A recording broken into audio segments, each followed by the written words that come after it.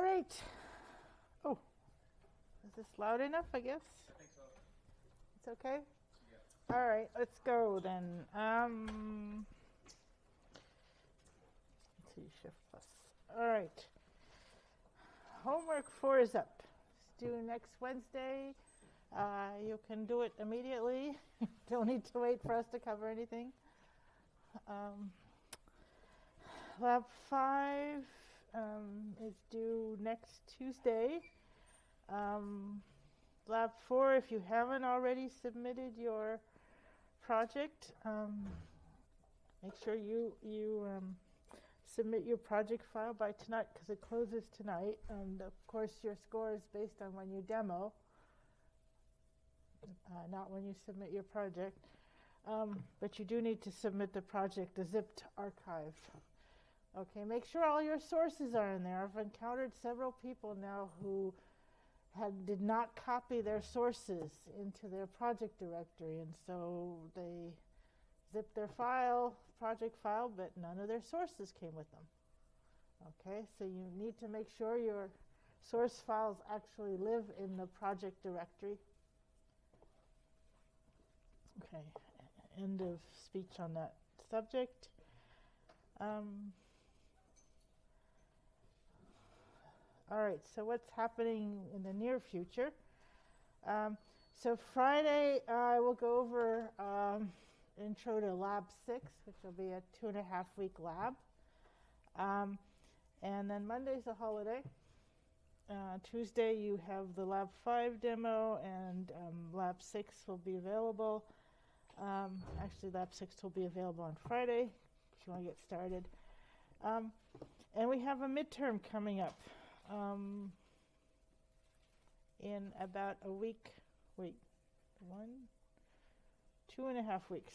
Okay, so we're we're uh, getting far out. Any questions? Yes.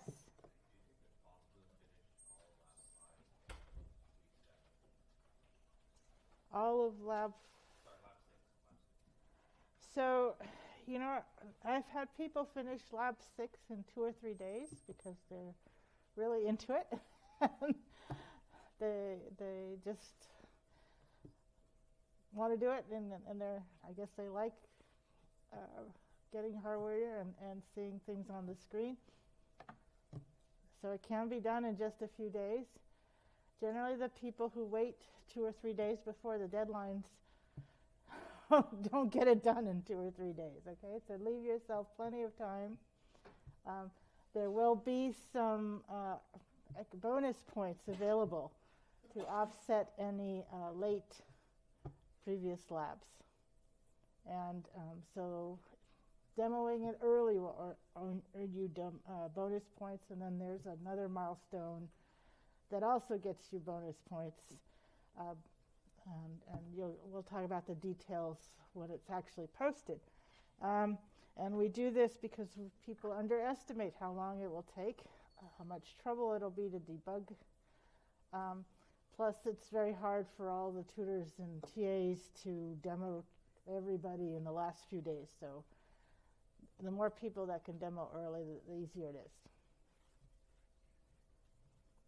Any other questions?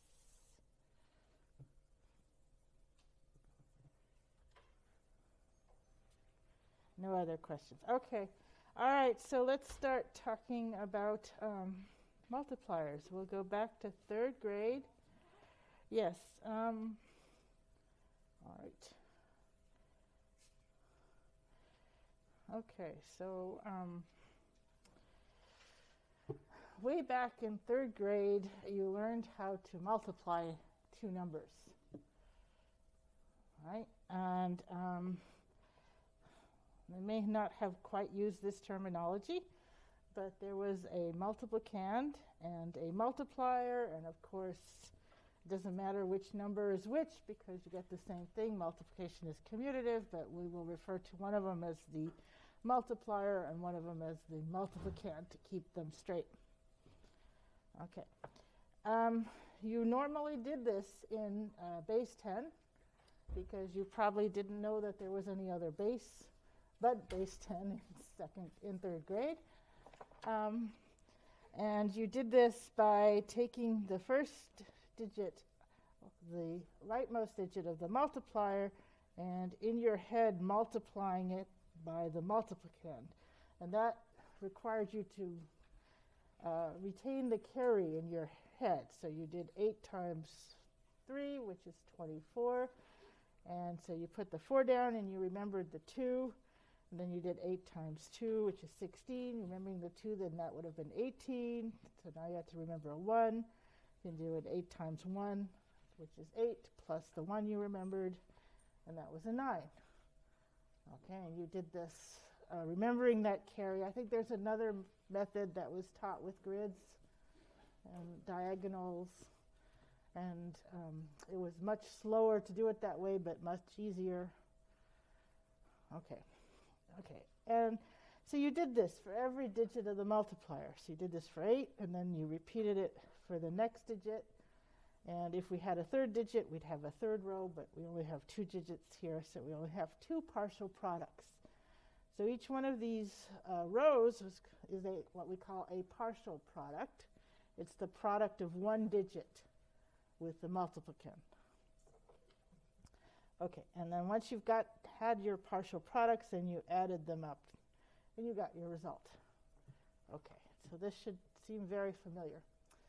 Now, if we were doing this in binary, there's some really good news. It is trivial to multiply by 0 or 1. Yay. That's, that's simple.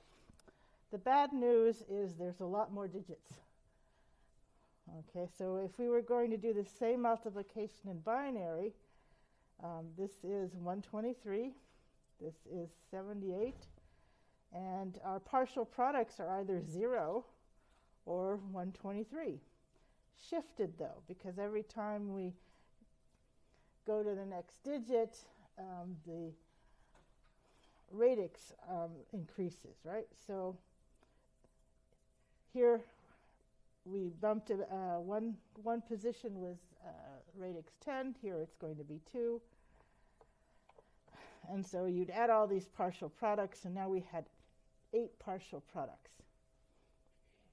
Okay, so this is how we're going to do, this is one way of doing multiplication in binary. We can, in fact, generate all of these partial products and then have a large array of full adders to add them together. All right, so um, here uh, B is the multiplier, A is the multiplicand, and um, here's the first partial product. And to get the partial products, all we need to do is AND with B.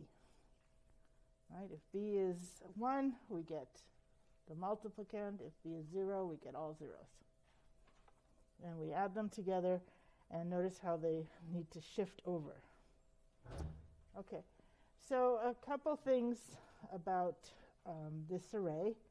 Um, you'll notice that there are some zeros in here, feeding in here. And I just want to talk about this because this is something that Vivado does for you in synthesis. If you plug in a constant value into a, a particular component, say you have, this is a full adder, this would be your circuit for full adder, right? And if you look at the full adders on the end and in the top, the carry in is zero. And if it's in the top row, the one of the sum bits that you're trying to add is zero. And so if you follow, if you plug in zero into this circuit, right? This, this zero will go through this XOR gate, and the output will just be x, because x XORed with zero is x. Likewise, this zero will go into this AND gate, and the output of the AND gate will be zero. And the output of this AND gate will be zero. If you OR two zeros together, you get zero. So in effect, one of the things that synthesis does for you is it propagates all of those constant values and turns your circuit into a much simpler one by just pushing all those values through. So this full adder with the zeros plugged in just becomes a wire. Right? Whatever value you have on x, that's the, what the sum bit will be. And in fact, the carryout will be, also be zero. So it probably took that carryout and pushed it through the next full adder. Right? So let's see what happens if our carry in is zero. If our carry in is zero, right? So we're going to feed a zero here. Well, what will that do? It'll turn it into a half adder because what will happen is this XOR gate will disappear. Whatever, if you XOR with a zero, it doesn't change the other argument. And uh, this AND gate will disappear. So now you're just adding two bits, X and Y. You still can get a carry out. And of course you want the sum bit, which is the XOR of X and Y. So this is part of what Vivado is doing for you. Um, and um, Neil asked me to do a public service announcement. He would like people to stop putting their entire design in one file because you're not taking advantage of incremental, incremental compile. When Vivado synthesizes, it checks which files changed and it only recompiles the one that's changed. So it's like compiling your C program, a huge C program. You don't want to do that. You only want to you want to take advantage of the object files that didn't change and just compile the ones that did change. Okay? So it probably didn't matter for lab 1, 2, uh, 3 you were getting there, but now it's going to start to matter. it's going to take you a whole lot longer to synthesize when you make a change if you have your entire Verilog code in one file, or even large chunks. Okay, end of public service announcements. Okay, so this is one of the things that it'll do, is it'll propagate those constants for you. And so our array, you know, uh, it gets simplified a little bit. We have half adders on the end here, and that top row would have gotten um, erased. But this is still a large circuit, right? If we have an n by n, we're multiplying two n-bit numbers, we're going to have n squared, roughly, full adders. Um, so this is expensive. There are, there are tricks to, to uh, reduce the expense um, using um, different encodings, using, using redundant encodings which allow you to subtract uh, values instead of, that you shouldn't have added. But um, a more economical or um, approach is actually to use less uh, hardware, less circuitry, uh, by uh, making a sequential circuit. And so that's what we're going to talk about today. We're going to build a sequential multiplier, and this is the very basic one. There are, of course, more sophisticated ones um, than this. Um, but let's talk about uh, how this is going to interact with the world first, because um, that's important. So this is going to take a number of clock cycles before it produces the result. The result's not available immediately. It um, takes as input two n-bit numbers, A and B, and then it has to have a signal to start because it's not unlike the um, this is a combinational circuit right? You plug in a and b and then you, as long as you wait enough time for it to settle you have the result. But um, the sequential one's going to take a number of clock cycles a fixed number of clock cycles. So you don't want to go look at the you don't want to use the result until in fact you know that it's valid, that it actually corresponds to. And so this multiplier has an output that indicates when the result is valid. Okay? This output also tells, um, also indicates when the multiplier isn't busy. Because if you try to start the multiplier when it's in the middle of a previous multiplication, it may not be able to respond quickly. Okay, so there are different design um, ways to design this, but here's the here's the protocol that we're going to follow. So um, here's our clock. So the idea is um, if you want to use this multiplier, what you need to do is you need to make a go signal high on the clock edge. So you will assert go on a particular clock edge. Now, um, the two arguments, A and B, uh, should both be there on that clock edge. They need, they need to be valid on that same clock edge.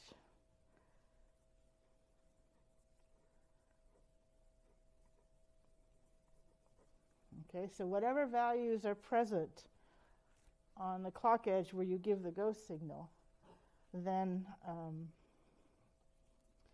those are the values you're going to multiply. Of course, um, you shouldn't do this unless ready is high. So ready will be high here. And um, all right, so what happens?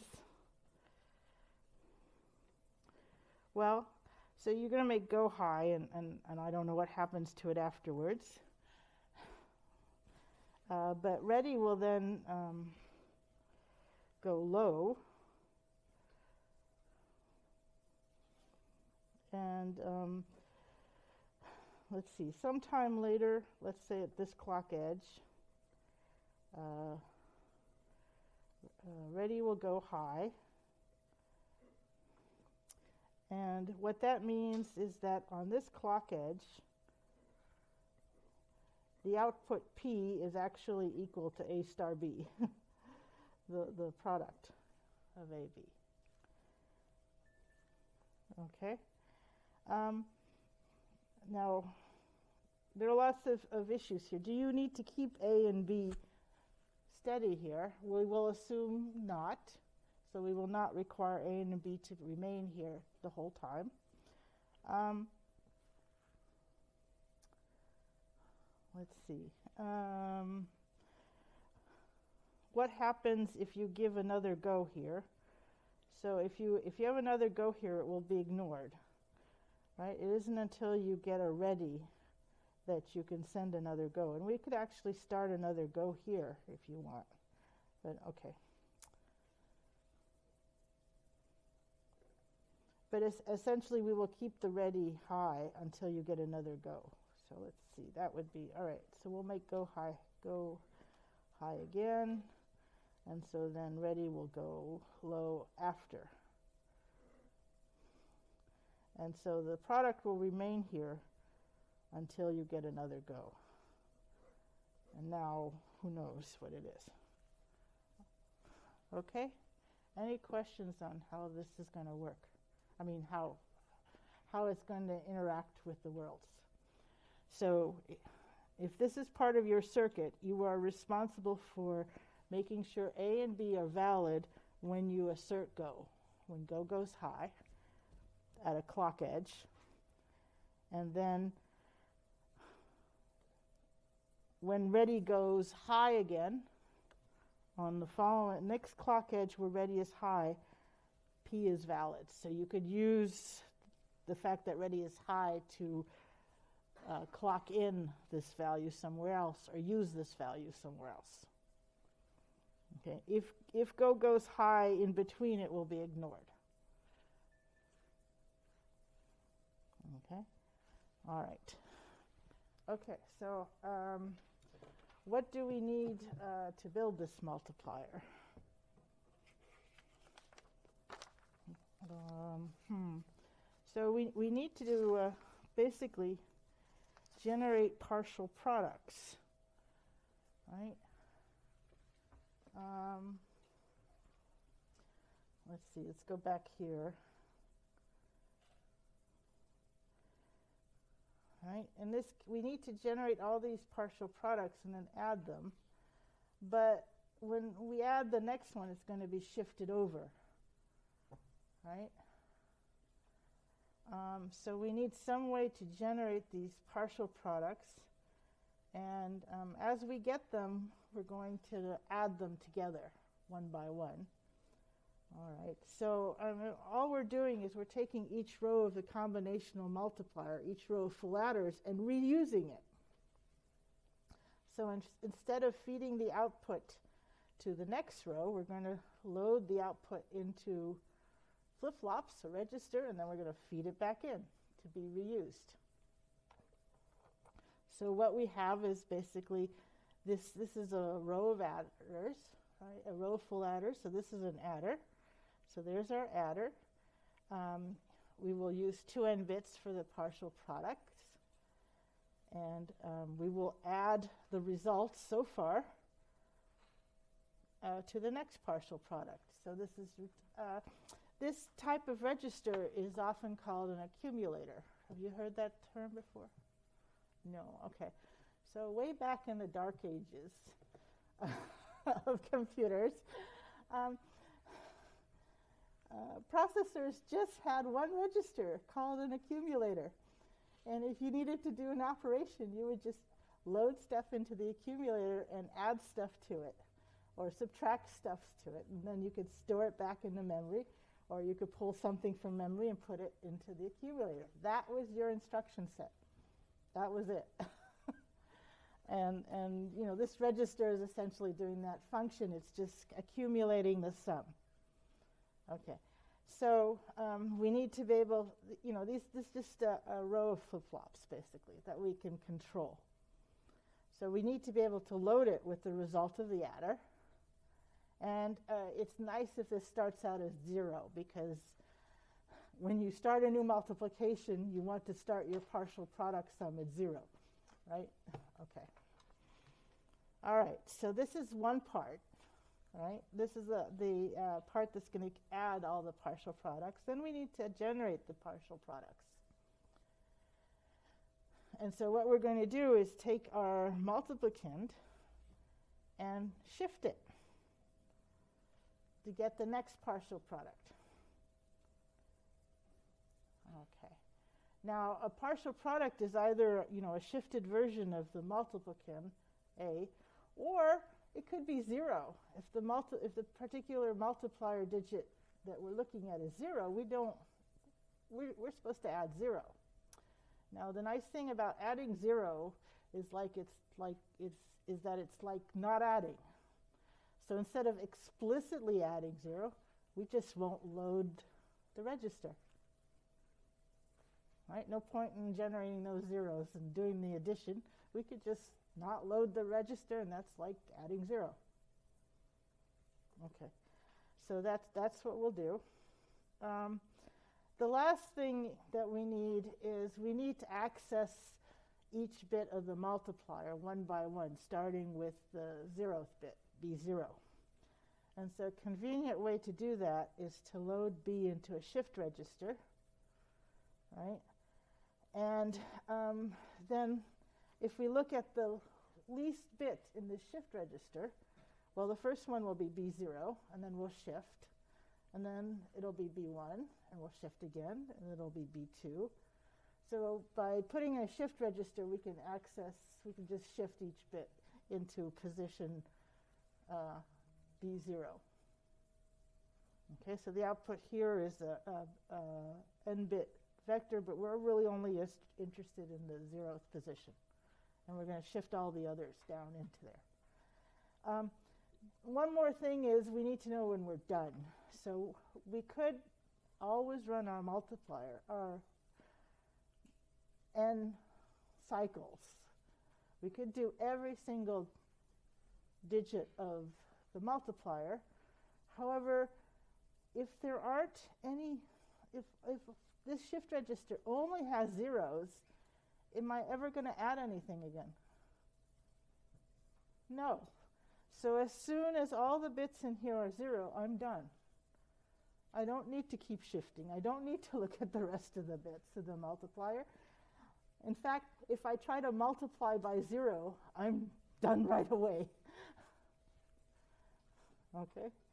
Um, So, but we need to know that. So um, here we have a uh, NOR gate, which takes all but the least bit as input. And when all of these are zero, we know we're done. So we're going to shift zeros in here, and, and once there's no non-zero multiplier bits, we can stop. Okay, so I'm going to now put all of this together. Okay. All right, so we've connected it up. Here's the partial products being generated. Um, and uh, here's the uh, part that's adding all the partial products together. Here's the uh, accumulator that's keeping track of the sum. Well, it looks like my G got bumped down there. Okay. Okay, and whatever's in here at the end, that's the result. That's the product. Right? The sum of the partial product is the result of the multiplication. So when we say we're ready, P is the answer. Okay. Um, and here's the shift register for B. Okay. So we have the components um, to make things happen. Um, this is often called the data path of a system. And uh, guess what we need? What's the last thing we need to make this happen?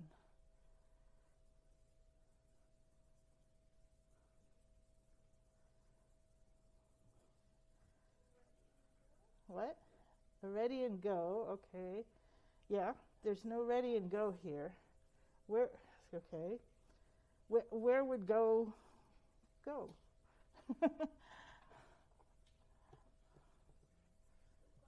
Good question. Where would you even put them?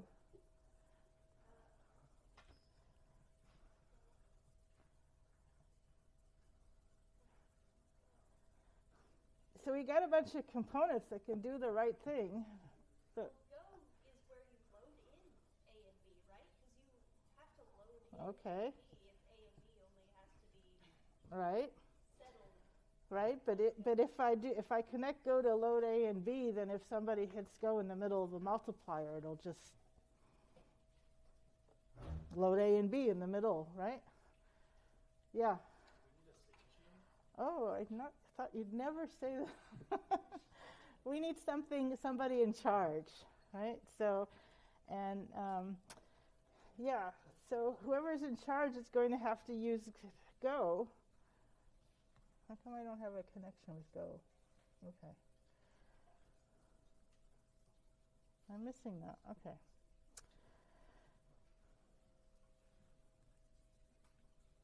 Okay. So what does my state machine need to know? It needs to know the bit of the multiplier, right? Because that's going to tell it whether to load the current partial product or not, whether we're adding zero or the partial or the actual shifted version of A. It's going to know, need to know when to stop, so it's going to need to know if all the remaining bits are zero. Um, it's going to be, it's going to need to know when to go.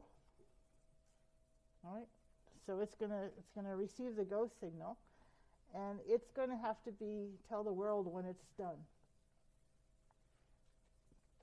Okay, so this is the control path of the system. This is the part that makes all the other makes the rest of the stuff do the right thing at the right time. Okay. All right. Um, shall we design this?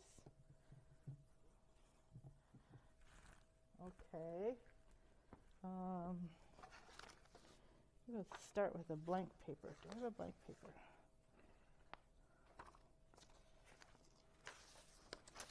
A blank paper. All right. Let's just do that.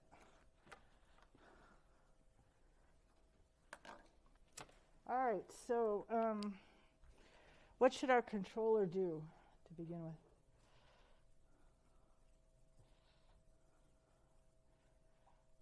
What should it do while it's not doing anything? Ready. Ready? Do you want it chill? St- yeah, okay. Or, okay, so in the chill state, we are ready. Okay, so, um, so that when you wake up, you won't have a result. So P will be zero because it, your register will wake up with a zero probably, maybe. Um, and that's okay because presumably uh, no, no one sent a uh, go signal to it. So nobody should be checking the result. okay. Not initialize into the same state? Should we have a separate state for before anything and after? What, w- what would we initialize it to? Yeah, I a good question. I guess there's really no point in doing that. Just be careful with what you. Yeah, I mean, Just being able to. You, you shouldn't be looking at the output of a multiplier until you've actually fed it arguments that you care about. Right? Okay, so what should we do now?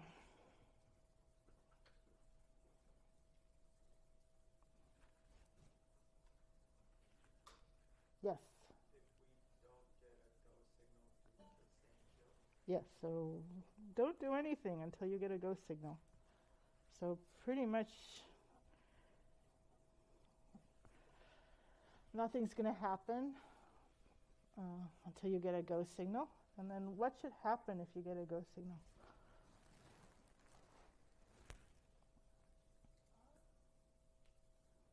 Yes. What should I load?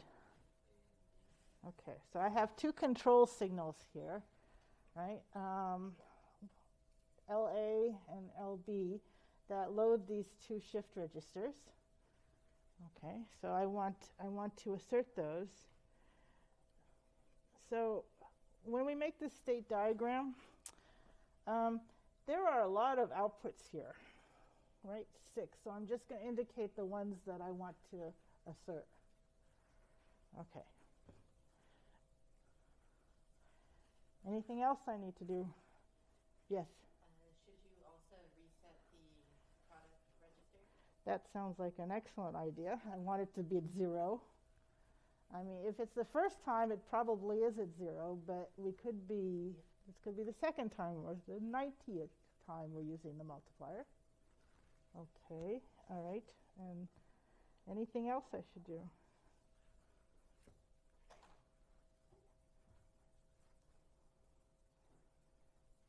No, I can't think of anything either. Okay. All right. Um, okay, so here we are. We've loaded A into the shift uh, into and B into our shift registers, which means we have bit zero coming out. Uh, this is input M to the state machine. Um, and um, we have Z telling us whether there are any non zero bits after this. Yes. What should we do?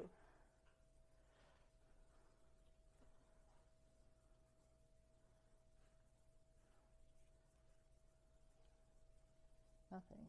Oh. I mean, turn ready off. Stop. Stop saying. Okay, so ready, we're not, we're not gonna, okay, ready will not be there. I will not write ready in that state.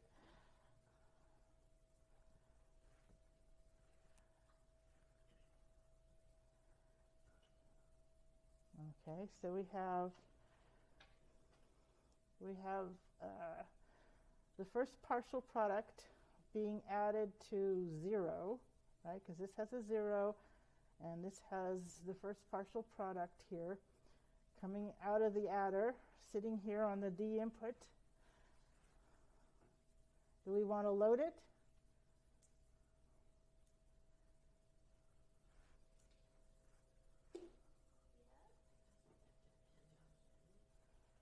It kind of depends on M, right? We only want to load it if M is 1. Hmm.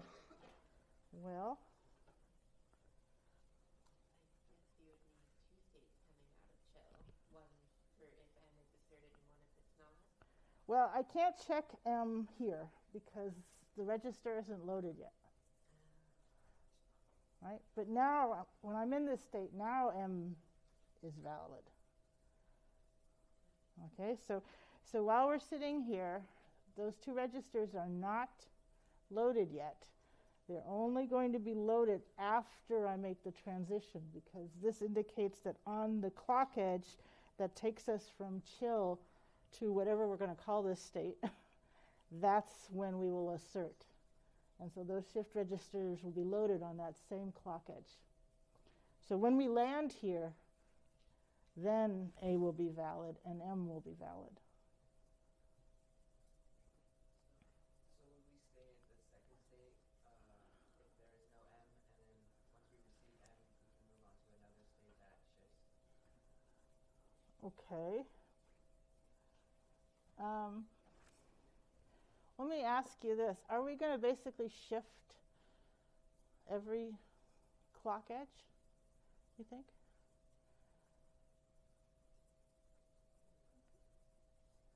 Is it every clock edge or every other clock edge? Well, I make state machines better when I have a list of the things that happen in order to work off of. That's how I make them. So well, okay, but if it, you know, this is hardware, so you got to take advantage of concurrency. Yeah.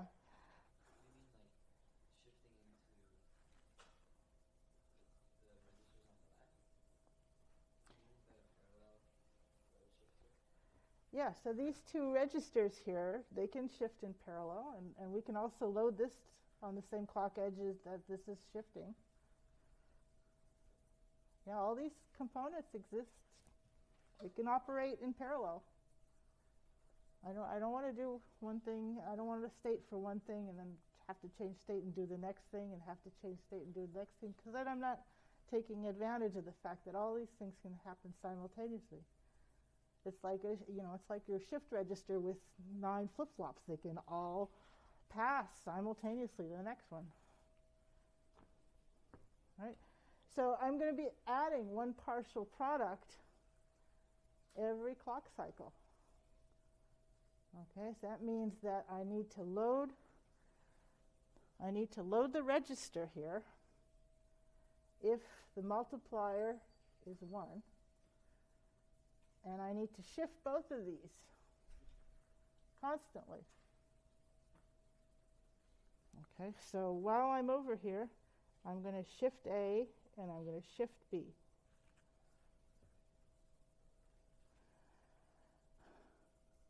But I don't want to load the register unless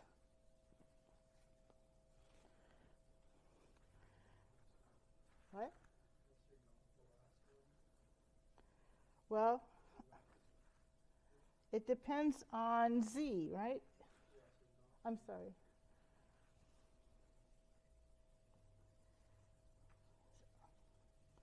So if M is 1, then I want to load the accumulator.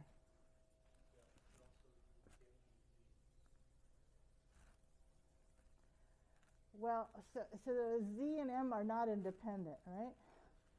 So if you look at if you look at M and Z, if M is one, well, okay, so M is bit zero, and um, Z is the uh, NOR of SB n minus 1 and 1. Okay.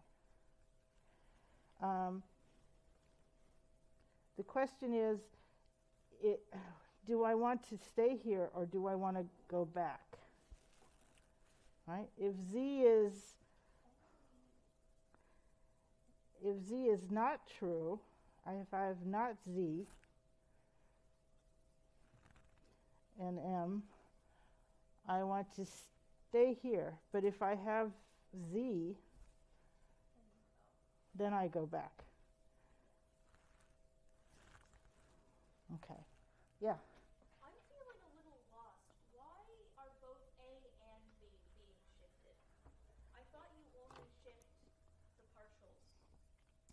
Well, okay, so we, we shift the partials, we shift A to get the partial products, right? Yeah. But we're shifting B to get one bit, to look at one bit of the multiplier at a time. Oh, so they're not being shifted in the same direction. A is being shifted left, B is being shifted right. Yes. That was, that was unclear. Now that that's clear, I understand what's going on. Shift right?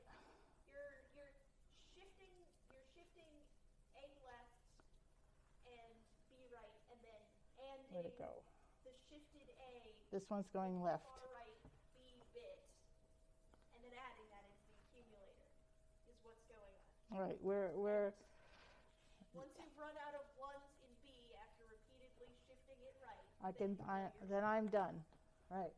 So Oh, if z is 1, that means I'm done. There or I'm about to be done. There are no no point in staying here because the remaining bits are going to be 0.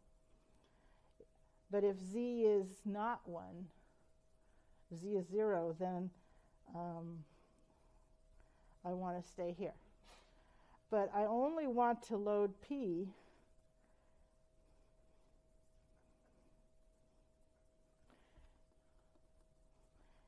if m is 1.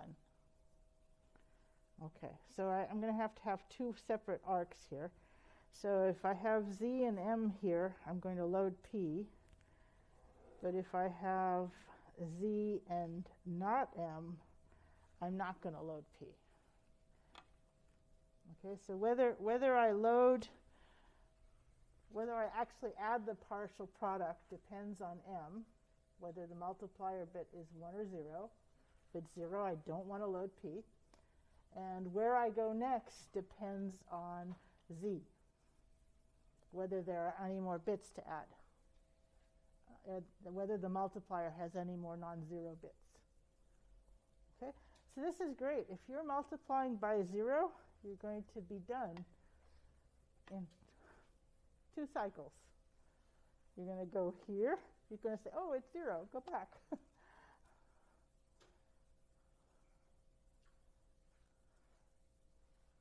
Okay.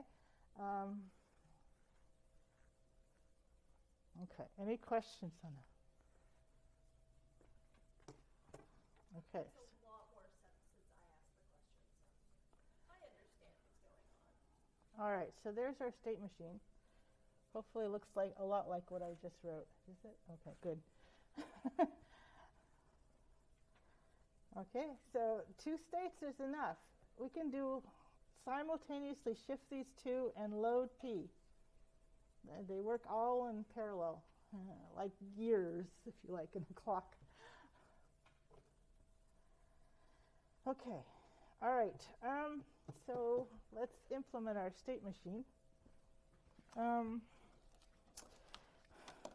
I have only two states, so this is pretty simple, right? Um, so if I were to make a transition table,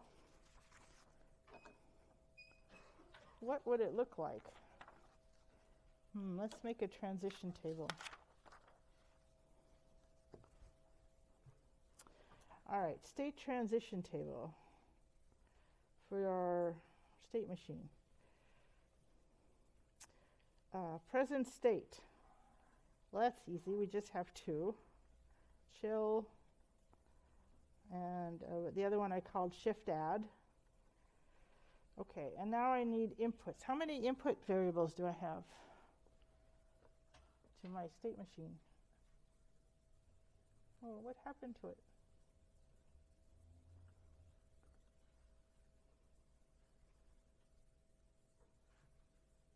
How many inputs? Three. Okay, so how many values can three input variables take on? Eight. Ah! So in I need eight different columns in here. Well, that's okay. That's not good. All right, so that's just for the next state. How about the outputs? How many outputs do I have? So, so I need eight columns. How many outputs? Six. Oh, I think you forgot ready. Seven. Sorry. Sorry, I'm not ready for this. All right, so seven. Now, do they depend possibly on the inputs? Is it mealy? Oh, so potentially I have eight outputs and each one, sorry, seven outputs and each one 56 columns. Okay, so what time do you need to leave? Are hinting there is a different way to do I am. Yes, there's a different way. There's a different format in these systems. Okay, so in the state transition tables that we've done before, we've had um, a row for each state and then a column for each input value. Unfortunately, we haven't had very many inputs. Maximum was two, right, in the message checker. And that quickly is not going to become a reasonable way for us to make transition tables. So instead of making a one row for a, a, a state, we're going to make a row for each transition in the um, state diagram. Okay, so what is this going to look like? Well, all right. Okay, so what so what we want to do is we'll have our states again. But instead of making eight values, we're going to make a column for each input. So we have a go input, we have M and Z, right? And then we're going to indicate what's the next state. So for chill, potentially I could have eight different rows if there were eight different transitions. But there are only two transitions out of state go, right? And they depend on whether you're ready. All right, there are only two transitions out of chill, and they depend on go. So the only thing I care about in state chill is whether go is zero or one. It doesn't really matter what M and Z are. Okay, so this is not a don't care. This is basically saying either one. So in fact, when we write something like this, when, when you see 0 dash dash, what this means is that this covers 0, 0, 0, 0, 0, 1, 0, 1, 0, and 0, 1, 1. This represents these four values in a much more compact form. Okay, so we are, in this case, our next state is chill, and in this state, our next state is shift add. Right? Okay, what about the outputs? Okay, so now we're going to make a column for each output. So we have ready, uh, LA, LB, shift A, shift B. Um, I think we have reset P and uh, load P. Yeah, that's seven. Okay. And now we, we can indicate the values. Okay. So this is a format um, where each transition, right, um, and for shift add, we're going to have several different cases to consider. Um, perhaps it's time to just look at the table. Okay, so this is what the table looks like now. Um, so we already started it. I started it over there, and um, looks like I have Z and M in the opposite order. um, so as as we noted, uh, if you're in chill, you only care about what go is. In shift add, the next state depends on only on Z. However, you also need to know what M is in order to know whether to load P or not. So we actually had to break this up into four different cases. Okay. What do RP and LP stand for again? So um, let's go back. They control this register here, where you load the partial product or or you reset the product to zero. Okay, so we, we, we can we need to be able to load both registers, shift both registers, and we need to be able to reset this one and also load it. Okay. Um, now it turns out that there, you know, we indicated on the state diagram where we wanted these things to be one. So, for example, we know that if when we're going from chill to shift add, when we get a go signal, we absolutely need to reset uh, P. We need uh, to load A and load B. Yes.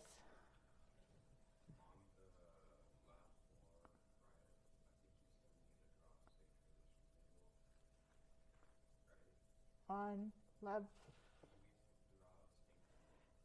Yeah, you can use this format, yes, because it's much more compact, isn't it?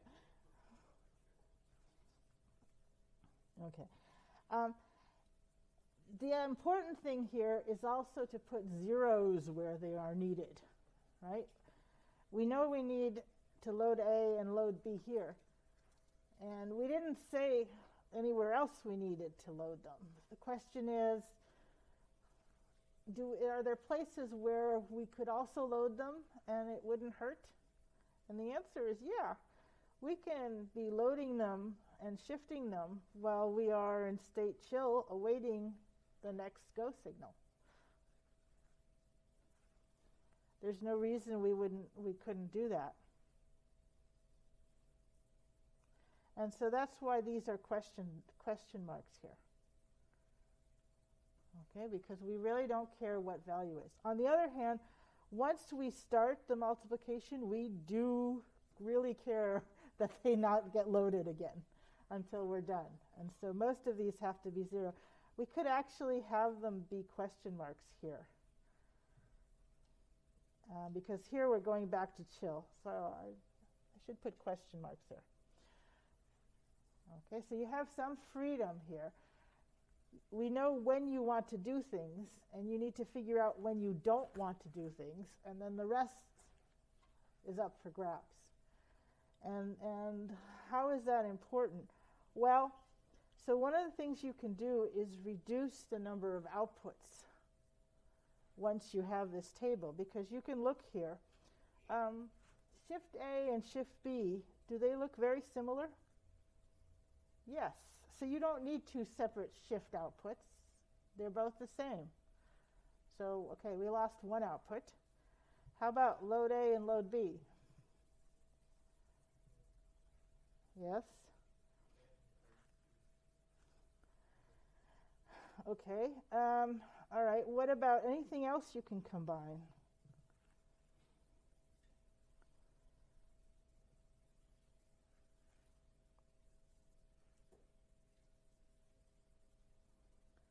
So we, we were down to five now, right? Because we got rid of one load and we got rid of one shift.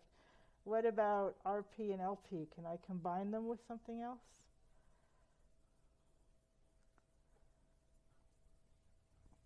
Probably not. So if you look at LP, it disagrees with uh, everything else at some point. Right here it disagrees with shift A and shift B, and then here it disagrees with the loads. So RP is going to have to be its own out. Yes? I was going to ask if RP does need to be its own, because if LA and LP, they don't care. Should this be a don't care?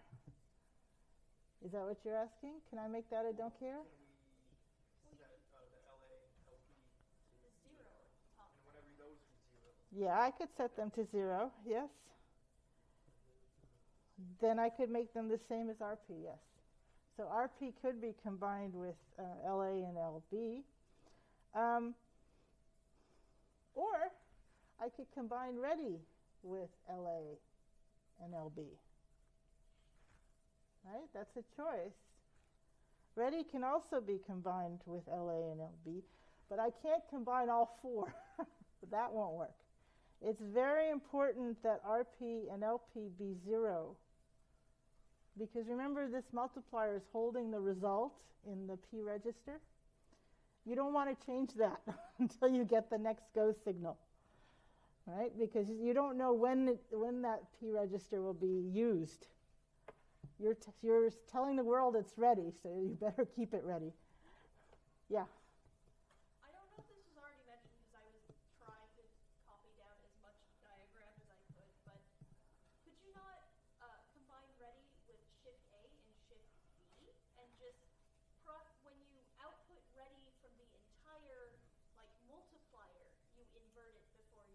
So ready could be a not shift A and not shift B. That would work too. So then you could combine RP with, RP with LA and LB. that would work too. Yeah.